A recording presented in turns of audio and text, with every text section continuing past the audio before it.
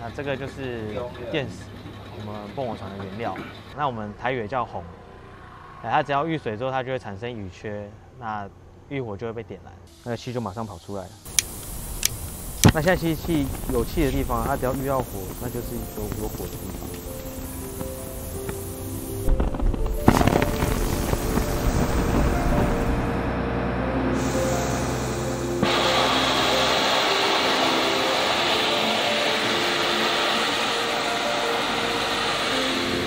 一一七年之后，我其实平均下来我赚不到两万块的。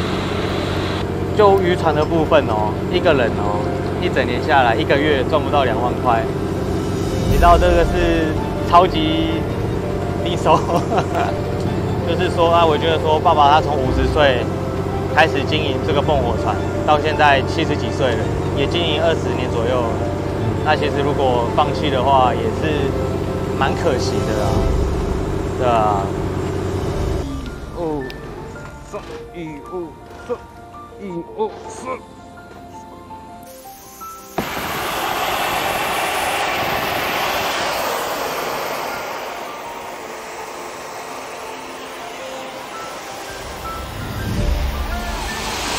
哦，快点拉起来，拉起来。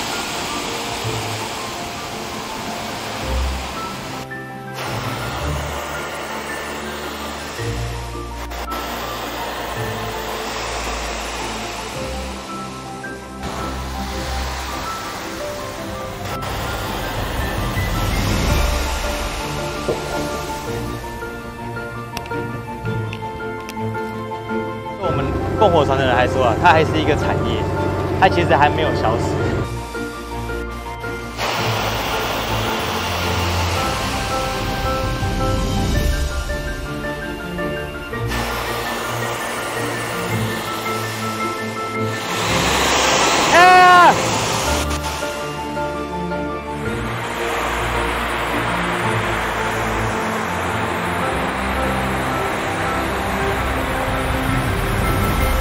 鱼进台就有希望。